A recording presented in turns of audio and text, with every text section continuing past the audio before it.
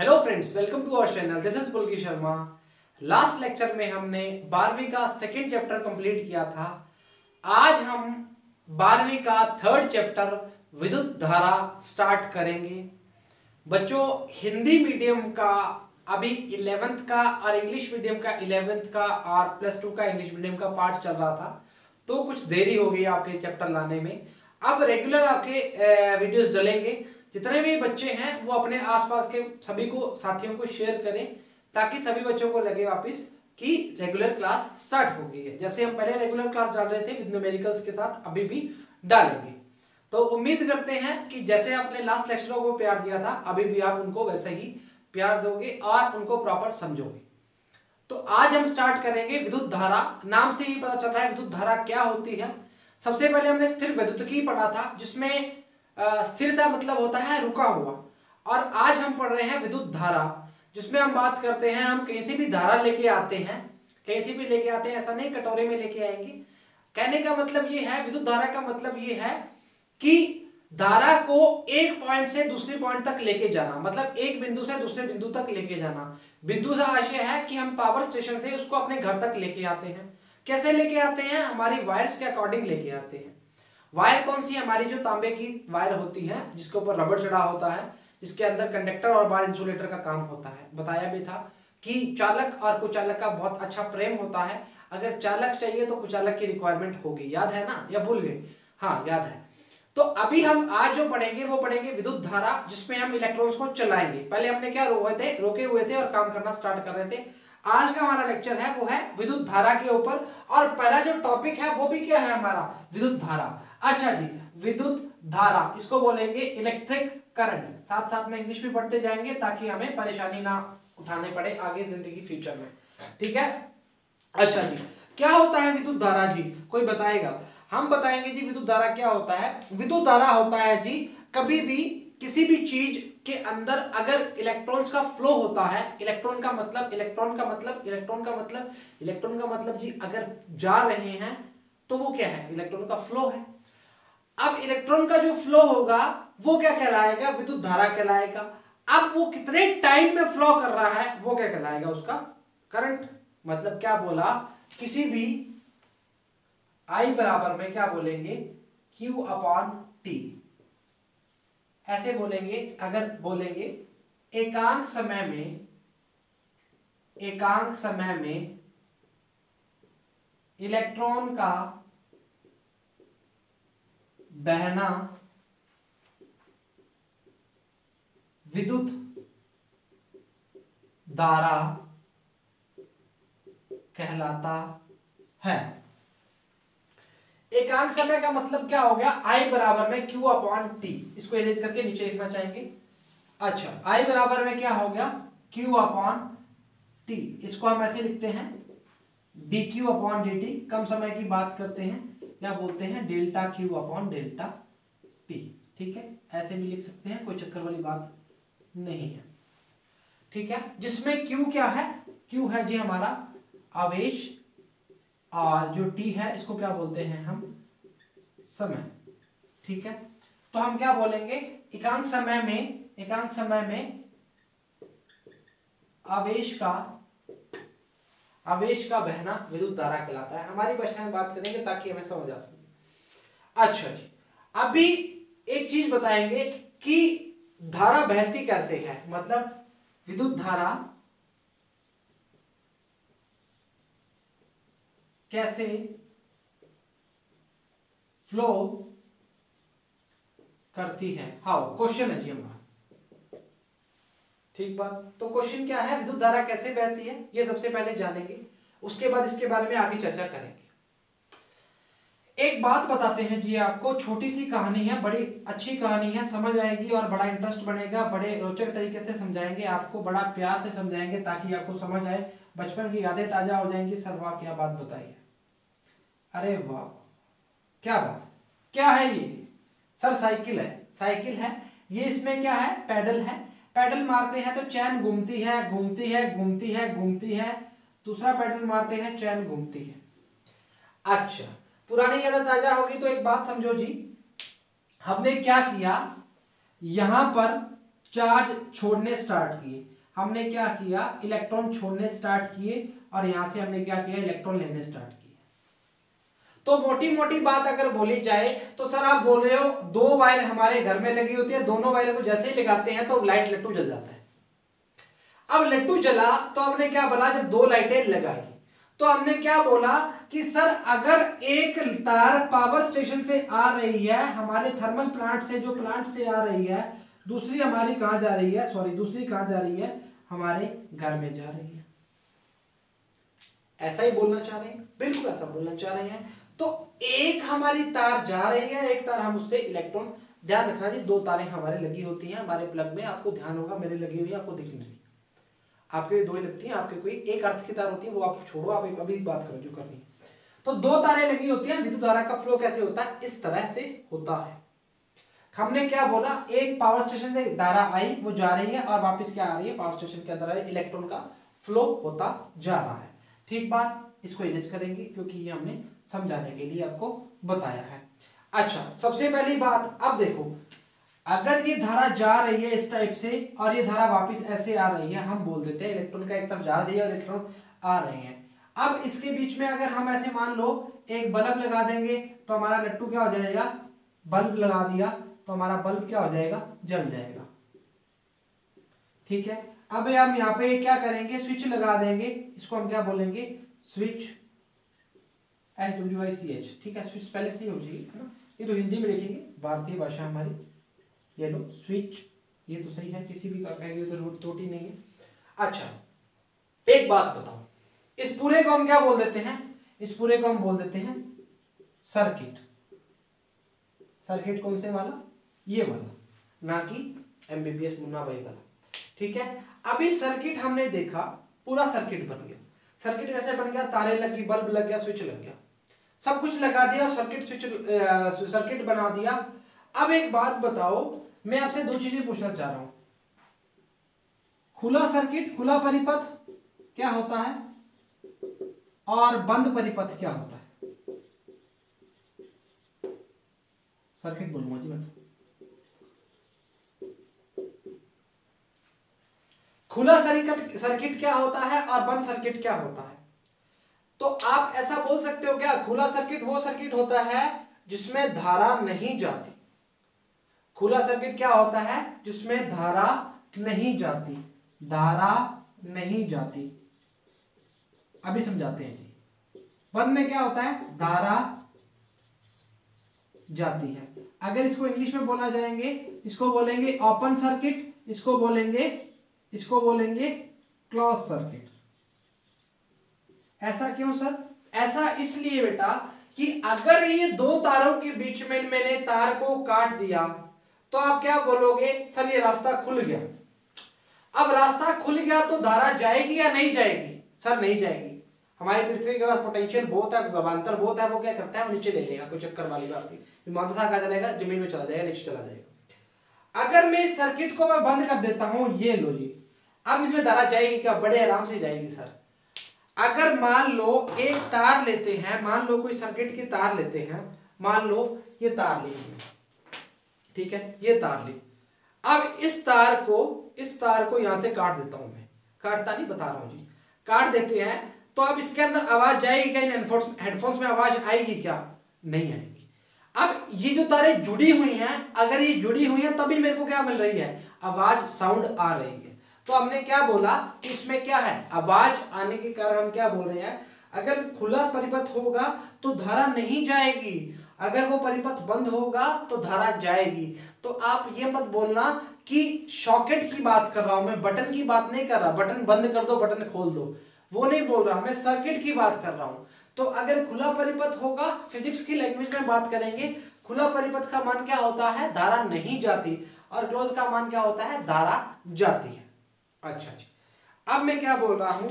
अब मैं बोल रहा हूँ कि अगर हमें यहाँ पर धारा की मान को बढ़ाना है, यहाँ पर मैंने एक इंसान को खड़ा कर दिया और मैंने क्या किया? धारा की मान को बढ़ाना है। तो यहाँ पे क्या करूँगा? इन चीज़ जो ये चक्री लगी हुई है पावर स्टेशन को क्या करूँगा? इसकी स्पीड को क्या कर दूँगा? बढ़ा दूँगा। और स्पीड जैसे ही बढ़ती जाएगी, जैसे ही बढ़ती जाएगी इलेक्ट्रॉन्स का फ्लो क्या हो जाएगा? तेज होना स्टार्ट हो जाएगा और हमें क्या हो जाएगी? उतनी वोल्टेज का इलेक्ट्रॉन मिलना स्टार्ट हो जाएगा। क्लियर बात? किसी प्रकार की परेशानी वाली बात तो नहीं है। अच्छा जी। अभी देखो, वापस बात करते हैं। एकांक समय प्रवेश का बहना क्या होता है? विद्युत धारा कहलाता है। विद्युत धारा कैसे फ्लो होती है, हमने आपको बताया कि जैसे मान लो पावर स्टेशन से हमें क्या है? ये चाहिए तो हमारे घर तक आई। तो हमने क्या किया? यहाँ से इलेक्ट्रॉन भेजने स्टार्ट किए और यहाँ से लेने स्टार्ट किए। ठीक है? खंबे के थ्रू बोल सकते हैं। अच्छा हमने क्या किया? ये हमने क्या करा दिया? बहा दिया। मतलब हमने क्या करा दिया? इलेक्ट्रॉन को बहाया और वो क्या होगा? करंट फ्लो होना स्टार्ट हो गया। इसमें कोई दिक्कत वाली बात नहीं है। खुला सर्किट, बंद सर्किट आपको समझ आ गया, कोई दिक्कत वाली बात नहीं है। ठीक बात? अब इसके बारे में थोड़ी चर्चा करें। चलो चर्चा करते हैं। इरेज करते हैं। ठीक है सर कर रहे हैं। इरेज कर रहे हैं, जी।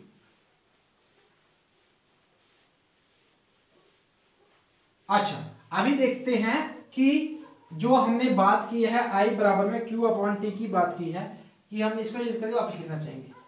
अच्छा इसको इरेज कर रहे हैं, इसको भी रेज कर दिया। अच्छा आई बराबर में क्या लिखा है हमने? आई बराबर में हमने लिखा है, sir D Q upon D T या delta Q upon delta T ठीक बात? अच्छा इसको हम क्या लिखेंगे? आवेश अपॉन समय। आवेश का मतलब क्या हो गया? आवेश का मतलब हो गया, नीचे लिखते हैं ऐसा ही जो मात्रक है इसका, वो क्या लिखेंगे? वो लिखेंगे हम, आवेश का क्या हो गया? गुलाम, और समय का क्या हो गया? सेकेंड। और इसका जो एक हमेशा एक मात्रक होता है, वो बोलते हैं एम्पियर। एम्पियर नामक एक क्या था? साइंटिस्ट था, वैज्ञानिक थे जी। उन्होंने क्या किया था? खोज की थी और इसका नाम क्या पड़ गया? उनका सरनेम पड़ गया, वो क्या था? एम्पियर। ठीक है जी? एम्पियर क्या हो गया इसका? एसआई मात्रक हो गया। अच्छा ये कौन सी? ये वेक्टर क्वांटिटी है मतलब वेक्टर है या स्केलर है? सदिश है या अदिश है? तो हम क्या बोलेंगे? ये एक अदिश राशि है। अदिश राशि है। इसको बोलेंगे स्केलर क्वांटिटी ठीक है? स्केलर क्वांटिटी क्यों है? ये बात हम जानेंगे। स्केलर क्वांटिटी क्यों है? स्केलर क्वांटिटी विद्युत धारा स्केलर विद्युत धारा अदिश राशि, ऐसे लिख देते हैं। विद्युत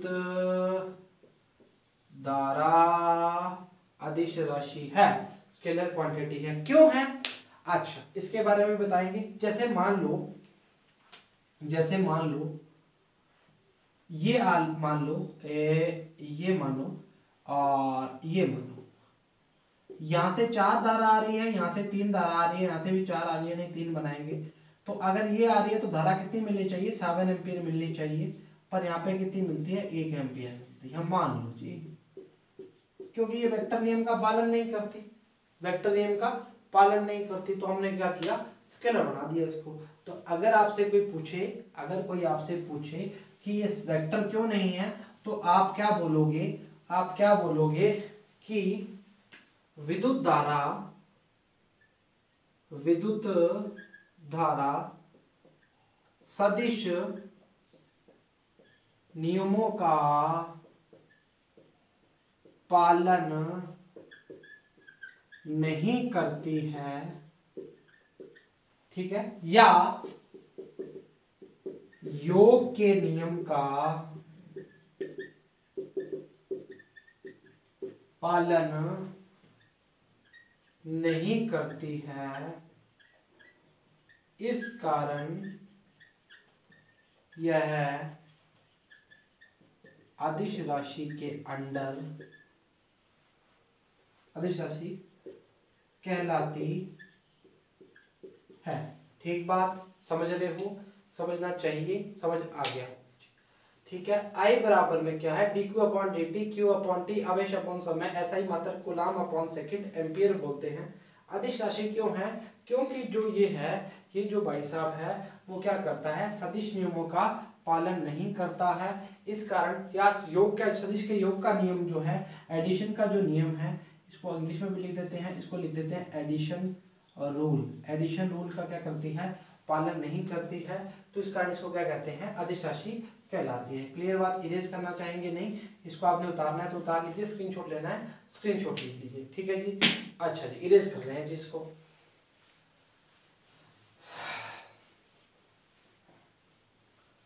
अभी अगला जो टॉपिक पढ़ेंगे, वो है धारा घनत्व. अभी धारा घनत्व क्या होता है, इसके बारे में चर्चा करेंगे।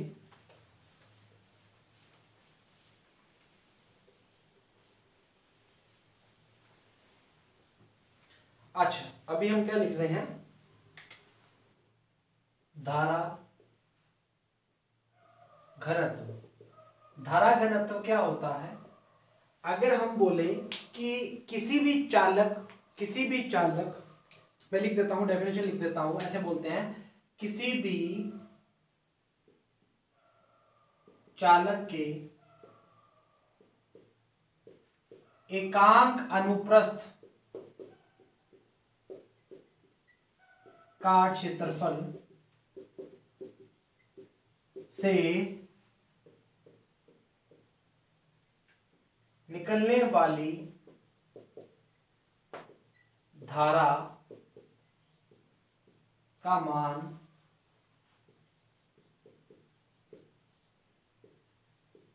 धारा घनत्व कहलाता है। अब कैसे बोला जाएगा? अब मान लो इलेक्ट्रिक फ़ील्ड जो है, धारा है सॉरी करंट है जो, वो इस साइड में डायरेक्शन में। ठीक है? अभी हमने बोला कि जो इसका एरिया है, वो क्या है? इस डायरेक्शन में। इसको बोल है डेल्टा ए और इन दोनों के बीच में बनने वाला जो एंगल है, वो कितना है? थीटा है। तो हम क्या बोलेंगे? डेल्टा ए कॉस थीटा क्या आएँगे? डेल्टा ए कॉस थीटा क्योंकि उसकी डायरेक्शन की बात कर रहे हैं। तो हम क्या बात करेंगे? कि J equals to J equals to I delta A I क्या है? आई क्या है? करंट है। और आई डेल्टा ए को क्या लिखेंगे? डेल्टा ए कॉस थीटा क्योंकि वो किसी एंगल पे क्या है? मुड़ गया। तो हम क्या बोलेंगे? J delta A cos theta बराबर में क्या आएगा? आई तो आई बराबर में क्या आएगा? जे डॉट डेल्टा ए आप चीज़ों को समझो जी। मैंने क्या किया है? मैंने ये किया है कि अगर लिखा जाए, अगर लिखा जाए तो ये लिखा जाएगा कि धारा घनत्व धारा घनत्व एक सदिश राशि है। आप चीज़ों को समझो जी। अब मैंने क्या बोला कि किसी एरिए के अंदर की बात कर रहे हैं, उसमें जो धारा निकलती है, वो क्या कहलाती है उसकी धारा घनत्व। अब मैंने बोला कि किसी भी एरिए को, किसी भी क्षेत्रफल की बात करें, उस क्षेत्रफल से अगर धारा निकल रही है अगर वो क्षेत्रफल मान लो, अगर मान लो, अगर मान लो, इस क्षेत्रफल को मैंने ऐसे कर दिया। अब मैंने क्या बोला? सारी जो बात है, वो किस पे डिपेंड कर दी? थीटा पे निर्भर कर दी अब थीटा पे निर्भर कैसे कर दी आपको मैं अपनी भाषा में बताता हूँ। जैसे हमने बोला कि कॉस थीटा की वैल्यू अगर आप ज़ीरो डिग्री रखते हो तो मान कितना आएगा? एक आएगा। अगर आप बोलोगे अगर 90 रखते हो तो मान कितना आएगा? ज़ीरो आएगा। 90 का मतलब क्या हो गया? इसको हमने परपेंडिकुलर रख दिया मतलब लंबवत रख दिया तो धारा का मान आगे जाने देगा तो काम खराब हो जाएगा। तो हम क्या बोलेंगे कि थीटा पे निर्भर करता है या नहीं करता? तो करता है जैसा बोल सकते हैं। धारा सॉरी धारा घनत्व है, वो क्या है? एक सदिश राशि है। और जो धारा होती है, विद्युत धारा जो होती है विद्युत धारा जो होती है, वो क्या होती है? विद्युत धारा जो होती है, वो क्या होती है? एक आदिश राशि है। ये आपको पहले भी बता दिया मैंने। क्यों आदिश राशि है? ये भी बता दिया, क्योंकि जो ये है, हमारे नियमों का पालन नहीं करती। हमारे मतलब सदिश के नियमों का पालन नहीं करती। इस कारण क्या है? ये अदिश राशि है। तो समझ आई? धारा घनत्व क्या होता? है धारा घनत्व होता है कि आ, किसी भी एकांक क्षेत्रफल अनुप्रस्थ काट क्षेत्रफल लिख सकते हैं। चालक या एक अनुप्रस्थ काट क्षेत्रफल के लिए निकलने वाली धारा का मान धारा घनत्व कहलाती है। फॉर्मूला होते हैं अगर साइड में लिखना चाहें तो अच्छा शब्दों में लिख सकते हैं। जे बराबर जो होता है वो होता है धारा घनत्व से डिनोट करते हैं। आई जो होता है, इसको बोलते हैं विद्युत धारा विद्युत धारा, और जो डेल्टा ए है, वो बोलेंगे अनुप्रस्थ काट क्षेत्रफल। समझ आई बात? अनुप्रस्थ काट क्षेत्रफल। कोई प्रॉब्लम वाली बात नहीं होनी चाहिए मेरे हिसाब से तो बट फिर भी मैंने लिख दिया, आपको याद नहीं ठीक बात? कोई दिक्कत वाली बात नहीं है। तो आज का हमारा जो टॉपिक था, वो क्या था? धारा और धारा घनत्व। तो होपफुली सबको समझ आया होगा। जिन जिन बच्चों को समझ आया तो बहुत अच्छा है। जिनको नहीं आया, वो कृपया करके अपना सजेशन दे कि सर, हमें समझ नहीं आया, इस पॉइंट पे समझ नहीं आया, इस लाइन पे समझ नहीं आया तो उसको समझाया जाएगा। जो बच्चे चैनल पर नए हैं चैनल को सब्सक्राइब करें शेयर करें लाइक करें, जो अपना फीडबैक है, ज़रूर दें। जो बच्चे पुराने हैं, वो बच्चे अपना जो लेक्चर्स हैं, उनको प्रॉपर शेयर भी किया करें और प्रॉपर देखा भी करें। और ज़्यादा ज़्यादा इसको फैलाया करें, ताकि आपको जल्दी जल्दी बताएगी आपको जल्दी स्ट्रेटेजी बताई जाएगी फिजिक्स फिजिक्स में कैसे पढ़ना है फिजिक्स के क्वेश्चन कैसे अटैम्प्ट करें न्यूमेरिकल कैसे अटैम्प्ट करना है। जल्दी एक इस पर आपको वीडियो लेक्चर मिलेगा, ताकि आपको कुछ प्रॉब्लम ना आए। आज के लिए इतना ही, कल मिलते हैं। Thank you very much